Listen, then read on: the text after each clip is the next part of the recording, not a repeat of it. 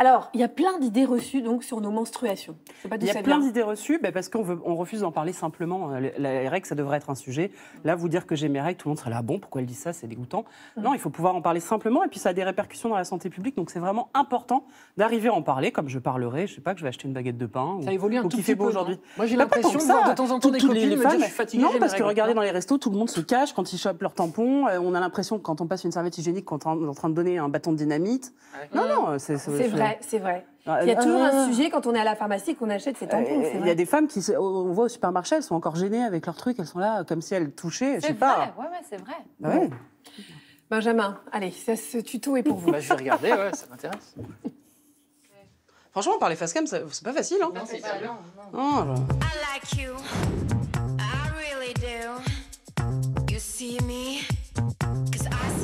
Bien sûr que non, que les règles, c'est pas sale. Le sang des règles est extrêmement fabuleux. C'est comme de dire que du lait maternel est sale ou du sperme est sale, ça n'a aucun sens. Le sang des règles, c'est des sécrétions vaginales, des sécrétions cervicales, des cellules souches, tout un tas de choses. L'ovule qui n'a pas été fécondé, c'est un sang génialement complexe qui n'est pas un déchet. Donc non, les règles, c'est pas sale.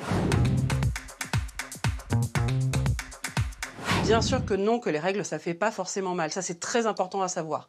Je fais la comparaison avec mon biceps, qui est aussi un muscle utérus, c'est un muscle, mon biceps aussi. Quand je contracte mon biceps, regardez, est-ce que j'ai mal? Non. Eh bien, les règles, ça doit être à peu près la même chose. Si vous avez mal au cours de vos règles et que ça ne cède pas avec un antalgique classique, attention, ça doit vous mettre la puce à l'oreille. Venez consulter, et si la personne n'est pas capable d'entendre que ça vous fait vraiment mal, alors il faut savoir changer de professionnel de la santé. Eh bien, je vais beaucoup vous décevoir, mais non, on perd pas plus que ça. Regardez, c'est le fond d'un verre. Pas plus, pas moins. Alors, qu'est-ce qui fait qu'on pense que c'est plus? On est obligé de se changer toutes les deux heures, par exemple, ou alors on est obligé de doubler ses protections. Vous voyez, tampon plus serviette, par exemple. Là, attention, ça doit vous mettre la puce à l'oreille. Vous venez consulter, on fera une évaluation, voir si c'est normal ou si ça l'est pas. Eh bien non, les règles, c'est pas toutes les 28 jours, pas pour toutes les femmes, des fois ça arrive, mais en fait c'est de 21 à 35 jours, et des fois même, il y a des femmes qui n'ont carrément pas leurs règles pendant plusieurs mois. On appelle ça l'aménorrhée. Et des femmes qui n'ont jamais eu leurs règles. Si vous êtes dans un de ces cas de figure, le plus simple, c'est de venir nous voir. Encore une fois, vous allez penser que je le fais exprès, mais vous venez nous voir et on en discute. On peut. Vous connaissez tout ça, on connaît tout ça, pourquoi pas, mais ce qui est génial aujourd'hui, c'est qu'il n'y a pas que ça.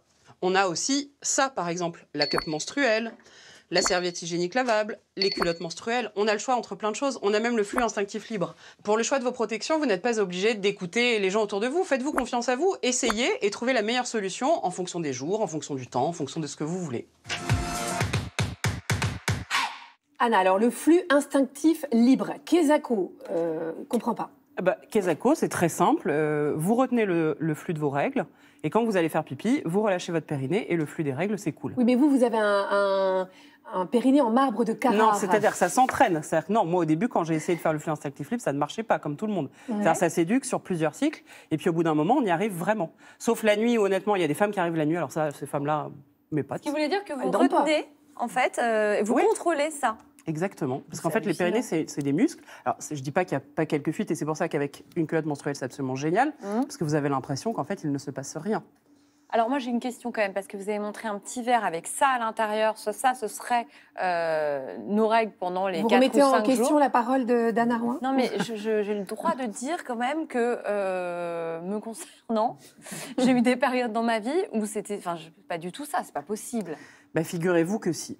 Mais Moi aussi, j'étais, mais j'étais vraiment la première à penser que euh, je vraiment, perdais une bouteille, une Oui, demi-bouteille d'eau oui. euh, pendant les règles. En fait, non. Si jamais vous avez la sensation, si, si vous avez la sensation, Yasmine, que c'est pas normal, Ouais. c'est vraiment très important de faire. Il y a des tests sur Internet qui permettent de compter exactement le nombre de serviettes.